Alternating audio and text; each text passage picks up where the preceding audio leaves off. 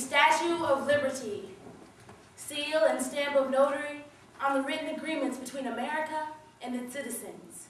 But, in case you missed the statute of limitations in the fine print, let me share with you the footnotes. Declarations of dependence on formats and molds. They held those truths to be evidence of themselves, true lies written on paper, visual aids printed in the middle of green bills, bills ratifying laws, gratifying their own idea of freedom, in which the ideas of others are confined.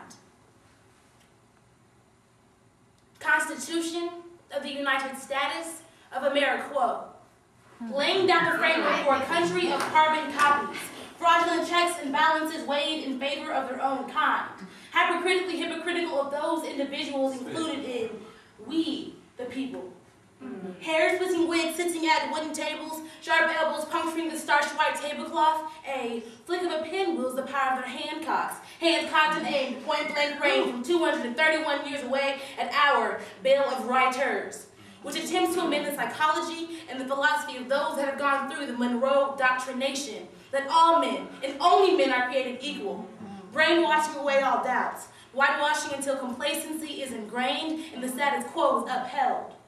This Monroe Doctrine, doctoring our freedom until it is as plastic and as fake as the smiling faces of their wives.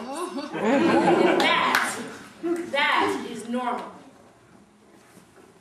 Normal. Norm bull, norm bullshit, norm bull it, racing at the speed of light bulbs. That is the murder that she wrote. The serial killing of any individual striving to be an individual. Not accepted as an individual until everyone has become that individual. Your continued life is the continued death of art. Uh-huh. So many geniuses celebrated posthumously, which cost you mostly, Professor Bloom, because you are one of them, cowering behind dusty documents and the elusive promise of progress, revoking our poetic license on the quaking grounds of tectonic tin templates, lynching our freedom with ropes of rules hung from executive, legislative, and judicial branches.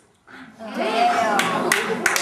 And all of that bullshit was brought over on censorship Mayflower. All in the name of America, land of the free.